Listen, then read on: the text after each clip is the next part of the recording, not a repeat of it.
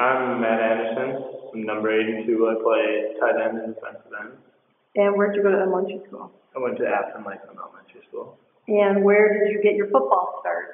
I started football in fifth grade with, uh, with the Cardinals at Afton Lakeland. And what do you like best about playing football?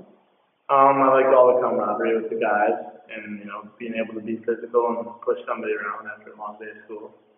And what does ponies football mean to you? Um, just with all the great history that we're playing the game, not just for ourselves, but for all the alumni. And that we're out there for a greater cause than ourselves. And what uh, is the favorite memory that you have from playing? Um, probably last year beating Creighton on ESPN, my favorite memory. And which uh, coach has influenced you over the years? Um, I'd say just Coach LeBour. He's always just been there helping me out, you know, trying to get me, uh, a little bit better every day. What about school? What are your favorite classes and teachers that you've had? Um, favorite, probably last year with Mr. Hemingway. I'm not sure how much you like me, but he's my favorite.